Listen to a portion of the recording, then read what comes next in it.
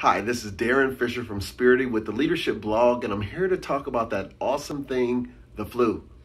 We have the flu running through our bodies uh, right now, and some of us are manifesting it by hurling things that used to be in our stomach out of our stomach.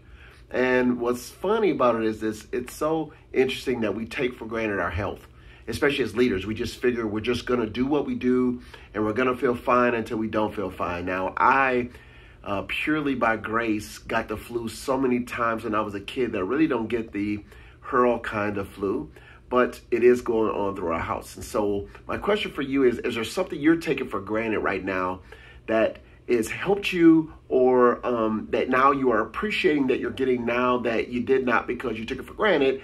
And uh, you now want to say, oh my gosh, this is so awesome. Um, I'm so appreciative I'm doing this.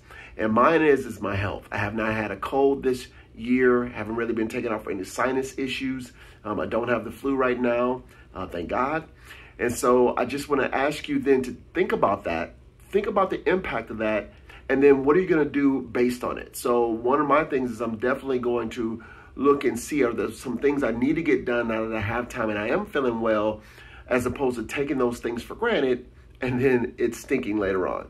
So look forward to hearing from you. If you have any questions or comments about this topic, and I hope for you, please don't get the flu bug.